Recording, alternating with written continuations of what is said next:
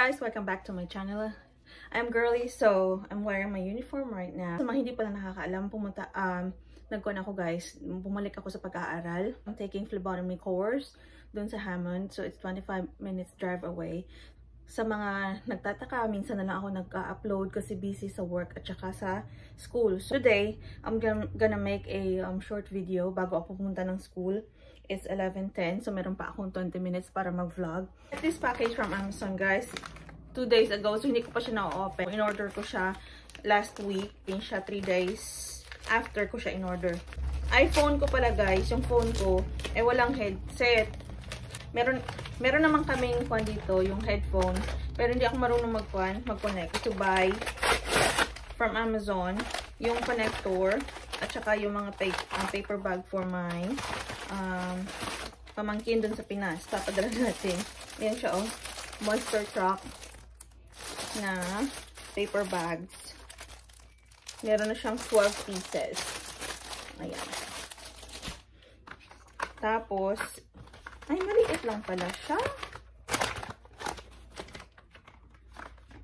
Ito siya. So, it's a connector para sa iPhone.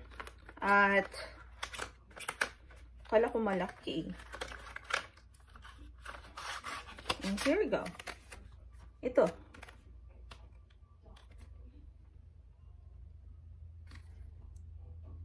Wait lang. Uh -huh. Ito-try natin sa phone ng asawa ko.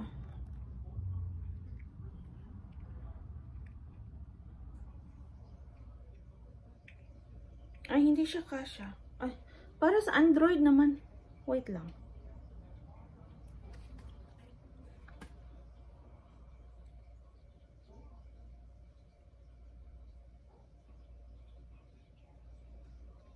Sabi iPhone, hindi naman kasya.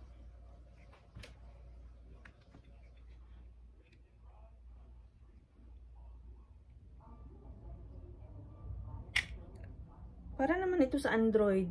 Ay, naku, naku, naku, naku, naku, naku. Mali. Sabi iPhone,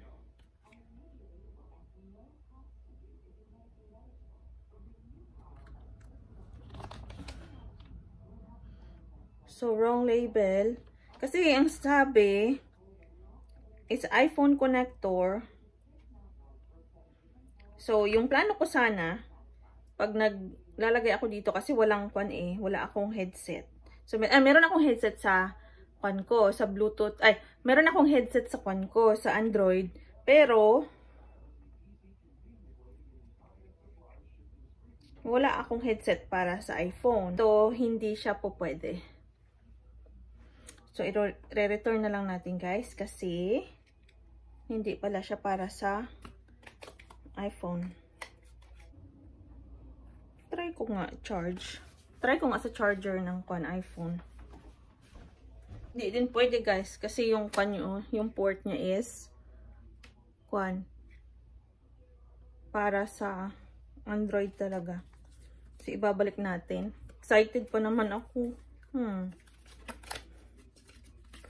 Wala, walay, walay guys.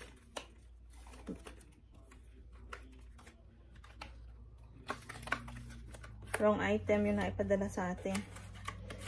So, ay try pa naman sana. Sayang. Okay. So, yun lang yung ating video for today. Yun. At magkukwento na rin pala ako kasi, di ba, nakuha ko na yung green card ko, tsaka meron na rin akong driver's license. Kaya allowed na akong pumunta ng school. Kaya I decided to go to go back to school at ibang career guys. Kaya medyo mahirap pero kakayanin.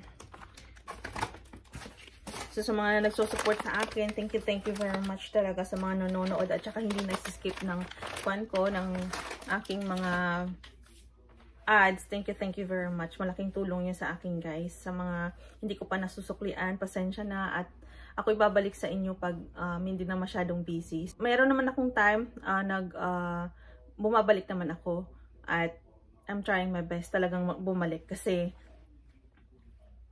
you know yun, basta. So, ayun lang yung ating video for today, guys. It's time for me to go. It's 11.20 na. At ako'y aalis na at pupunta na ng school. So, yeah, update ko na lang kayo about sa school ko. So, thank you very much for watching. Bye! Mwah. Mwah. Mwah.